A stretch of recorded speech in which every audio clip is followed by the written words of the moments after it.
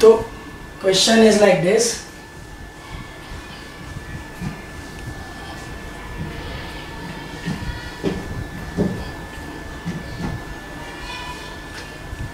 exercise four only not four point one देखो ऐसा एक, क्वेश्चन है उसी को ही हम लोग कंप्लीट करने की ट्राई करेंगे। तो बच्चों क्वेश्चन नंबर जो होगा वो इलेवन होगा। 1 upon 1 into 2 into 3 1 upon 2 into 3 into 4 1 upon 3 into 4 into 5 1 upon n into n plus 1 n plus 2 equals to n into n plus 3 4 upon n plus 1 n plus 2 बच्चों almost same है, लेकिन ज़रूरी है कि मैं आपको ढंग से इसको एक्सप्लेन कर दूँ। बहुत ज़रूरी है बच्चों। अब सबसे पहले आएगा प्रूफ प्रूफ के बाद मैं जो लिखने वाला हूँ, वो statement of n 1 upon 2 into 2 3 2 into 3 into 4 अब बच्चों, मैं समझ रहा हूँ आप तो मैं ये टर्म को स्किप कर दूँगा। No need to write this term Time, skip that term every time. Waste of the time and energy. And into n plus 3, 4 upon n plus 1, n plus 2. Step 1. We will prove that statement is true for n equals to 1. LHS क्या रहता है? Statement की equal to की left hand side तो one upon n into n plus one n plus two n into n plus three ये R H S में लिखने जा रहा हूँ। आपका जो आर एच एस है वो n into n plus 3 4 into n plus 1 n plus 2 taking होगा एन इक्वल्स टू 1 तो 1 plus 1 1 plus 2 1 by 6 यहाँ पे भी होगा taking. N equals to 1 1 plus 2 देखो, इसको सिंप्लीफाई कर लेना, ये भी होगा 1 by 6 तो मैं बोल सकता हूँ L H S equals to R H S और ये वर्ड आएगा this statement is true for n equals to one अब बच्चों स्टेप टू मैं यहाँ पे लिखने की ट्राई कर रहा हूँ step two we will assume that we will assume that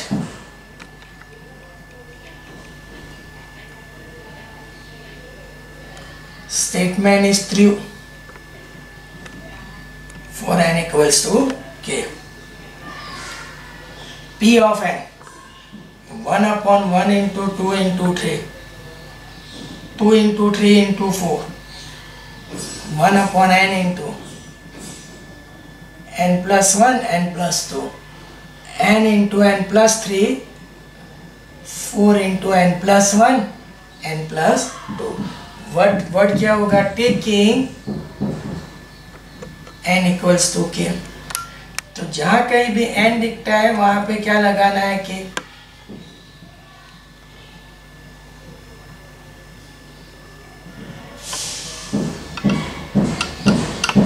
तो एन को हटा के आपको लगा देना है कि ठीक है? और बार बार सर ने बोला कि ये आपका हो जाता है result one sum up to k term sum up to k term ये आपका रिज़ल्ट वन इसके लिए हम लोग के प्लस वन के लिए यूज़ करेंगे इसके लिए.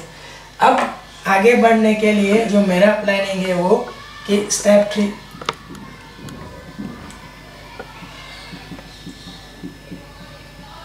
we will assume that a statement is true for n equal uh, sorry we will prove that i'm sorry we will prove that statement is true for n equals to k plus 1 अब आगे बढ़ने के लिए मैं क्या try करूँगा तो पहले तो मैं यही लिखूँगा P of n equals to one upon one into two into three one upon two into three into four in this fashion, one upon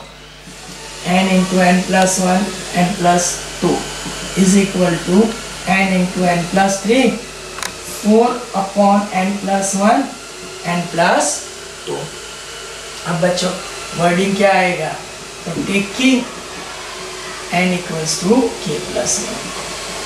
तो n लिखता है वहाँ पे k plus one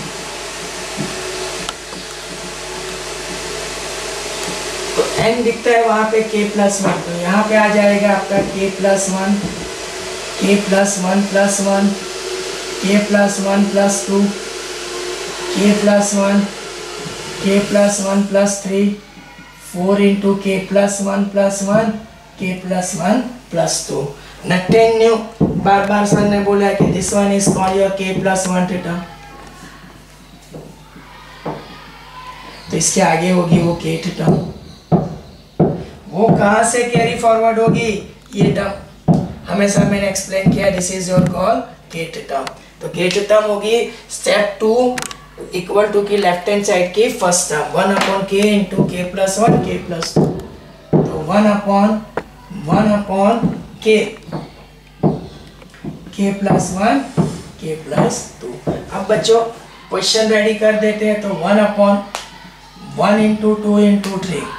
one upon two into three into four one upon k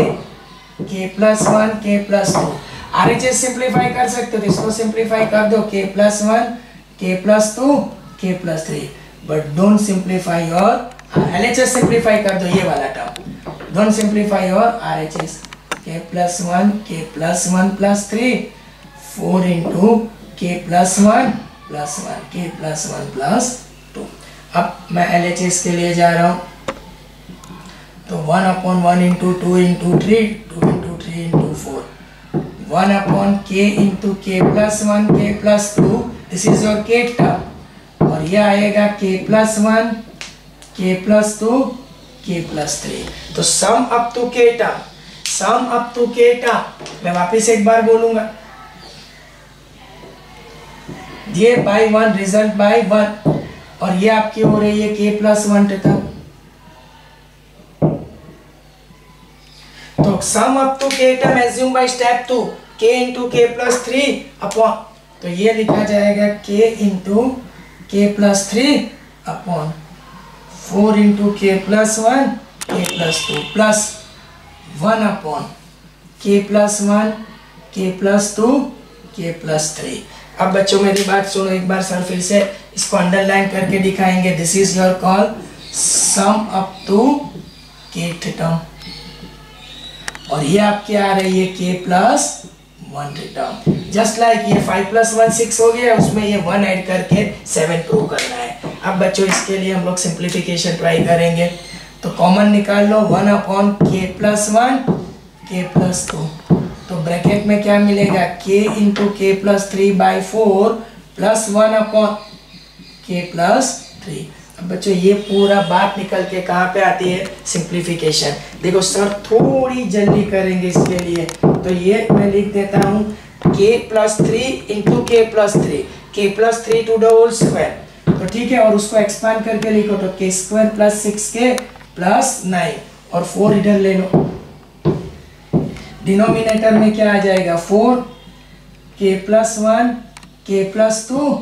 k plus three अब बच्चों, थोड़ा और आगे जाना पड़ेगा। तो यहाँ पे के को मल्टीप्लाई करो। तो k cube plus six k square plus nine k upon four plus four upon four into k plus one k plus two k plus three अब बच्चों, ये से, ये फैक्टराइजेशन कैसे होगा? थोड़ा सा ऊपर आके आपसे बात कर रहे हैं। क्योंकि ये क्यूब का फैक्टराइजेशन है। अब आपने एट नाइन टेन में कहीं ना कहीं पढ़ा होगा sum of the coefficient of odd power one plus nine ten और even power six plus four ten तो ऊपर से sum of the coefficient of odd power k cube का वन और के का नाइन तो नाइन प्लस वन टेन और sum of the coefficient of even power k square का six और फोर का मतलब four constant term constant term को इवन में लिया जाएगा. तो दोनों का टेन मिल रहा है मतलब ऊपर से एक फैक्टर में क्या निकालूँगा? K plus so I am going to write here देखो मैं क्यूब का फैक्टराइजेशन आपको स्कूल में जैसे पढ़ाया गया या ट्यूशन में जो भी है, मैं उसको मेरी तरह से लिख रहा हूँ. K cube six k square को ब्रेक करो. K square plus five k square k cube six k square को ब्रेक करो. K square plus five k square nine k को ब्रेक करो. नाइन को क्या लिखा जाएगा? मतलब five k plus four k plus four and the whole thing is divided by four k plus one k plus two k plus three अब इन दोनों से के स्क्वायर कॉमन तो के प्लस वन इन दोनों से. इन दोनों से फाइव के कॉमन के प्लस वन और इन दोनों से फोर कॉमन तो k plus one divided by four into k plus one k plus two k plus three k plus one k square plus five k plus four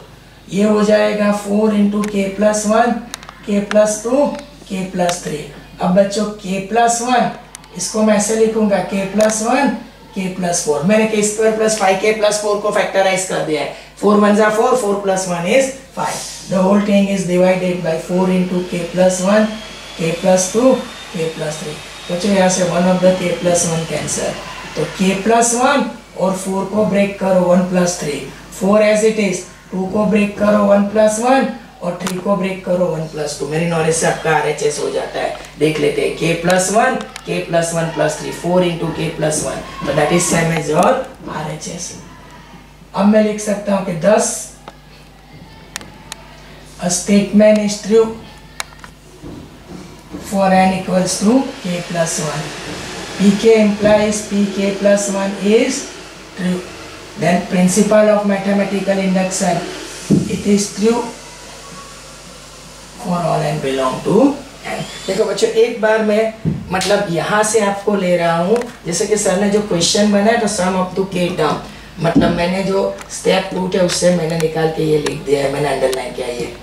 फिर के plus one term यहाँ से यहाँ पे आए तो मैंने कॉमन क्या निकाला है? बच्चों तो one upon k plus one k plus two तो k into k plus three by four one upon k plus three फिर क्रॉस मल्टीप्लाई किया। तो k plus three k plus three उसको डायरेक्ट लिखा है k square plus six k plus nine और multiple में के और फोर वन ज़ा फोर अब बच्चों, इससे हम लोग आगे गए। तो मैंने के को मल्टीप्लाई किया तो ये क्यूब अब वहाँ पे क्यूब को मैंने सॉल्व किया। मतलब सिक्स के स्क्वायर को ब्रेक किया k square plus five k nine k को ब्रेक किया five k plus four k first two term से k square common third fourth से फाइव के कॉमन और फिफ्थ सिक्स से फोर कॉमन फिर के प्लस वन और k square plus five k plus four को फैक्टराइज करके k plus one k plus four k plus one cancel k plus one एक रिमेनिंग है और फोर को ब्रेक करो वन प्लस थ्री टू को ब्रेक करो वन प्लस वन थ्री को ब्रेक करो one plus equals to R H S that will complete your